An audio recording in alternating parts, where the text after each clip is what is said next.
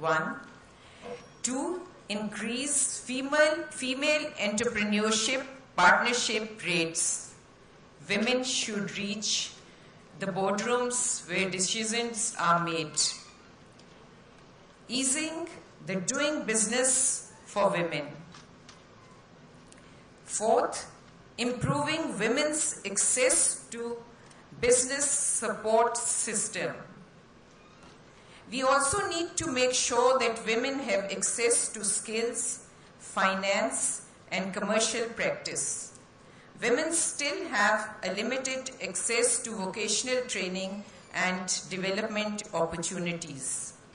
Fifth, increasing networking opportunities for women, uh, such events as we are having now. These are the events that will encourage networking. So it should be, and we should all on reciprocal basis. This should be an example that now that Pakistan has come with a big delegation, we expect and hope and pray that whenever there is something in Pakistan, all of you will participate.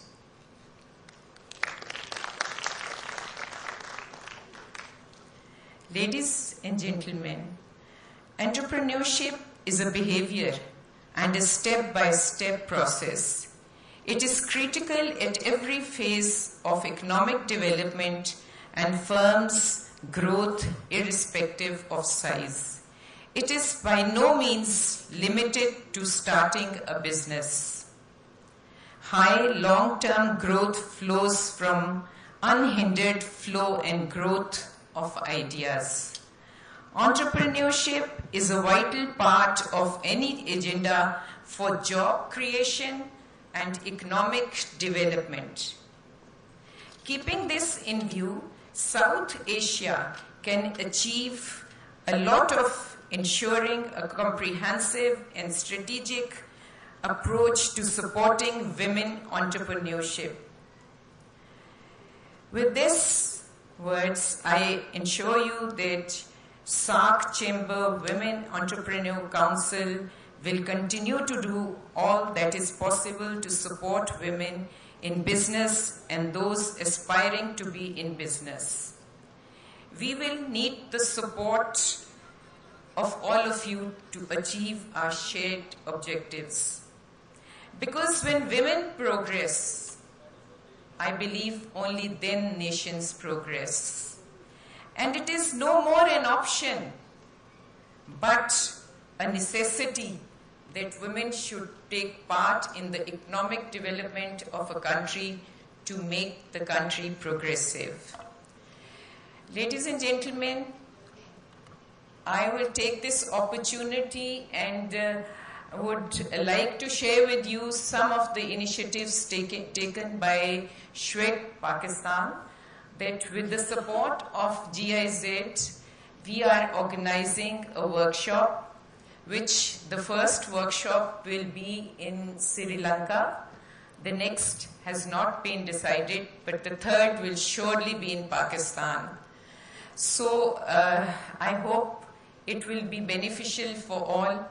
So this is the training of the trainers.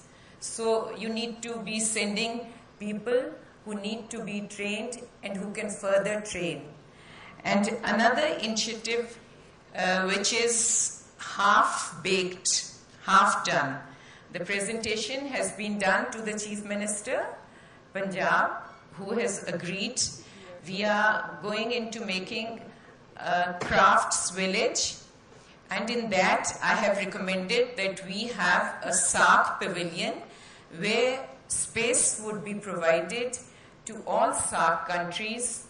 I've had a chance uh, because as being a parliamentarian, I have had a chance of meeting the few of the ambassadors of the SAARC countries, and they were quite enthusiastic, and they were agreeing with me that if space provided, we can have a permanent display space from different SAARC countries, and this can promote connectivity and promote peace and harmony which I'm sure the women can carry it forward in a much better way. Then uh, the third initiative uh, we are taking up is that uh, we are starting, it's on paper, uh, it's clear, but it's SCWEC Startup Challenge Cup. And that is, SCWEC plans to hold up, uh, start up a challenge catering to all the eight countries in the SAARC region. The main object of this Startup Challenge Cup are foster a cultural of entrepreneurship in SAARC region with focus on women entrepreneurs. Develop healthy, healthy business competition among women entrepreneurs of the SAARC region. Develop a women entrepreneurs directory of the SAARC countries with all the participating women entrepreneurs. Increase startup business activities and create more economic activity in the region involving women. Award the top entrepreneur ideas and provide encouragement. And this is that we will be going to colleges also for students also who are coming out of the colleges and if they can come up with innovative new uh, plans, ideas and there will be a jury in every country. I'll be floating this plan to all the countries and there the jury will take up and decide which is the best plan, which has the best feasibility, which has a future, which has potential. And then they'll select one from each country and then ultimately the jury will uh, select one from the SAARC region. And then that person, because we want to start this at the grassroots level also.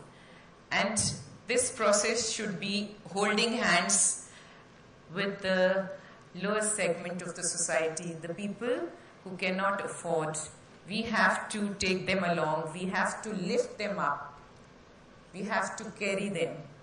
It is, and it is only then that we will be able to uh, make progress here also and hereafter also. So then these people, the selected entrepreneurs whose plans have been selected, they will be connected by another program which is the Adopt an Entrepreneur. And this is, it will be adopted by the S, SCR which is the Social Corporate Responsibility of Big Business People. We have talked to them, they are willing to do it and then these entrepreneurs will be elected by them, supported by them, till they come up with proper rewards and all. So uh, this is what is in the pipeline and I would like, we will be getting in touch through emails, you will be getting the plans because I need, we all should be working for the new innovative entrepreneurship and encouragement should be given to students who are coming out and who are very keen to start up their businesses. And another thing that um, we are having an exhibition, WEXNet and SCWEC Pakistan are holding an exhibition. In the exhibition trade fair is 4th to 6th December and Pakistan is giving two stalls free of cost to each SAARC country. Uh, I think it's, it's something good that we are trying to do and get you all there. And uh, then on the 7th and 8th, there's a women conference and it's a SAARC Charter Day. So there the vice chairs would be invited and free lodging and will be there. So uh, we would like to see, and as we have participated, I think we expect the same way. Because it's only then, the region can only move if, if the big brother should remain as big brother and allow me to say, if they don't become a bully brother. Let them be a big brother, but not a bully brother.